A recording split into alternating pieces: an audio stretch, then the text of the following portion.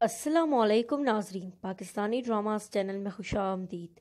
پیار کے صدقے ڈرامہ سیریل کی پرومو کے ساتھ ہم حاضر ہیں۔ دوستو آپ دیکھنے والے ہیں کہ مہجبین اپنے والد کے میت پر بیٹھ کر یاد کر رہی ہوتی ہیں کہ کیسے اچھے دن گزرے تھے۔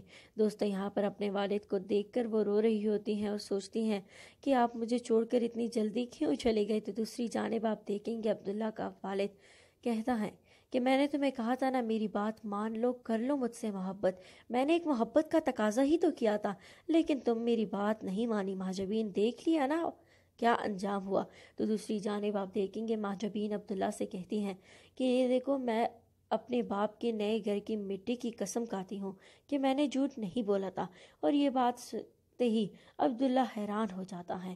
دوستو، آپ بتائیں کہ آپ کو ہماری ویڈیو کیسی لگی؟ کومنٹ باکس اپنی رائے دیجیے گا، ویڈیو کو لائک کر کے شیئر کیجیے گا اور چینل کو بھی سبسکرائب کریں۔ شکریہ دوستو۔